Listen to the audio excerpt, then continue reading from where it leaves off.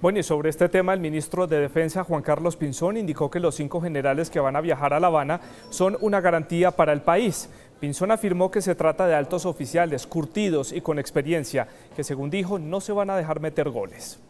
Esta misma semana viajarán a La Habana los generales del ejército Martín Fernando Nieto y Alfonso Rojas Tirado, por la Fuerza Aérea el general Osvaldo Rivera, por la Armada el contraalmirante Orlando Romero y por la Policía el general Álvaro Pico Malaver, que llegarán a integrar la subcomisión de transición liderada por el general Javier Flores. El ministro de Defensa destacó el trabajo que realizarán los altos oficiales. Es una señal de garantía, de garantía de que estamos en manos para hablar del desarme, de la desmovilización, de la reintegración en manos de los expertos, en manos de quienes saben de estos asuntos.